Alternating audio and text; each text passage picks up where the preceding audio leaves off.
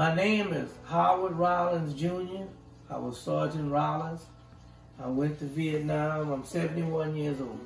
I went to Vietnam in January 22nd, 1970.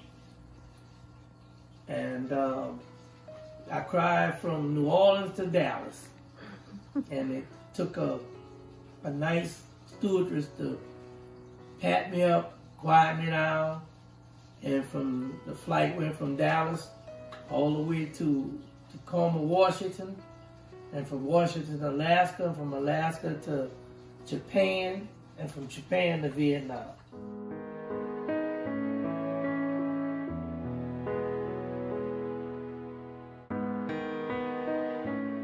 After jungle school, a week of jungle school, you go to your assigned unit.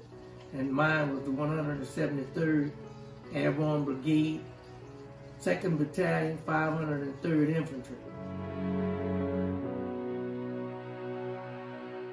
The first day I got there, going back, before I was made a radio man, after I left jungle school, when I arrived at the unit, they were already in some kind of firefight. And I remember the helicopter setting me down on top of the hill, which is base camp. And I sit on the log and I'm watching the helicopter go in and out. They coming back with bodies.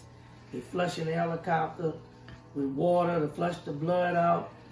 And Top, which is the first sergeant, he came out, he said, the CO will be with you, the commanding officer, CO captain. He'll be with you in a minute. He, he came out and he welcomed me to the unit. And he told me, he said, uh, if you follow the, my orders and follow your sergeant orders and things, you may get home alive. The second day, and the way the unit really worked, we operated in what we call five-man hawk teams. It could be five men, it could be seven men, it could be, but it was just small groups. So this particular time, now this is my first, really first time out. We hump out of the base camp, which means we march or walk out of base camp. However, if it's 20, 15, 20, maybe 30, some case 40 miles from base camp, we travel by helicopter and it's called a combat assault. Well, we humped out of the base camp this time, and this was my first time. And we all walking along. We came through the jungle, came down out of the hills. We hit the rice paddies. We was approaching a village when the enemy started firing upon us. I froze, which is normal when you first go into combat and you're not used to it. When the shooting started, I froze. And the, the guys that were with me that was used to it, they all jumped in the rice paddies. I didn't want to jump in there. But somebody eventually pulled me by my pants and pulled me down in the rice paddies. The edge is where uh, the people sit down and relieve themselves. That's where they poop.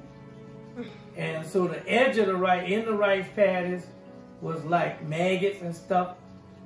We jumped in that and the bullets were flying. If it hadn't been for the guy that pulled me down, I probably would have been shot and killed then. But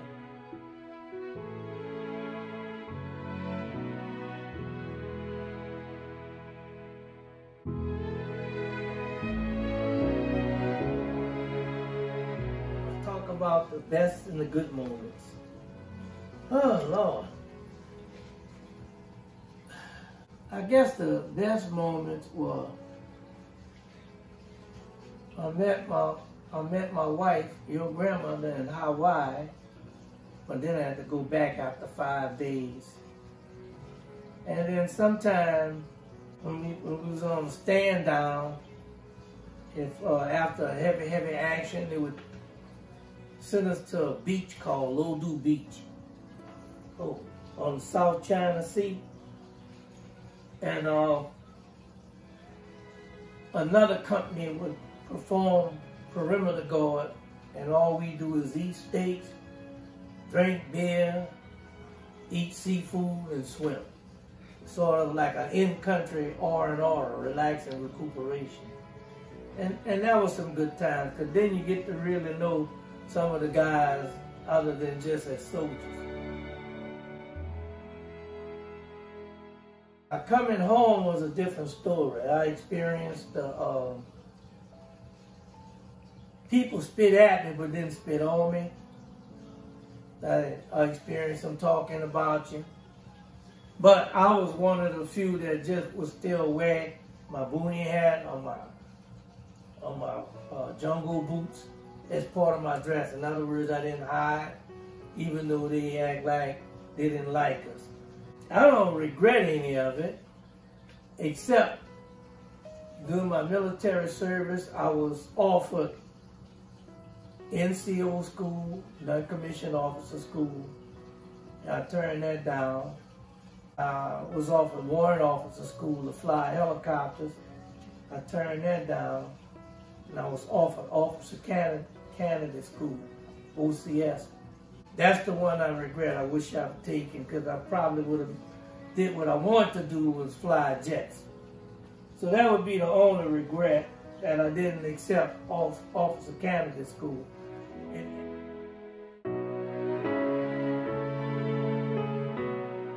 Coming home was really good, but this is what I did.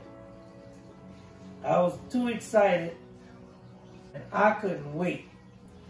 So I took a flight that would have got me there like 10, 11 o'clock that night. I got to the airport in New Orleans. I kissed the ground. The last bus stopped running at 11 o'clock, and I got there and I just missed it. So with a with my duffel bag, and I had a rifle, which was a, a war trophy. I walked down airline highway from the airport to Tulane and Galvez, where, where my wife was staying on Perdido Street. And I told her I was going to catch her sleeping.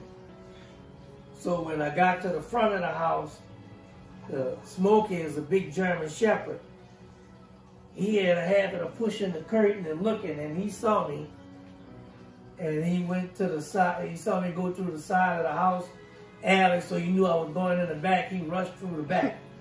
I, I didn't think he'd remember me, but he did. And he cut up when I went through the back door. They didn't keep the back door locked. That's the way it was during them times. I come in through the back door, played with Smokey, and I, I went in the bedroom where she was sleeping, and I dropped my rock and the rifle, and she just opened her eyes. Howard! She was so excited. and your mama was laying next to her, and between her and Anna Marie, her sister, because they slept together. And I woke up the whole house. And she was so excited. I said, I told you I'll catch you sleeping. But that was, that was a joy. But also it was like, um, I couldn't believe I made it home. So it was a, took me a long time to wind down. Really long. The end.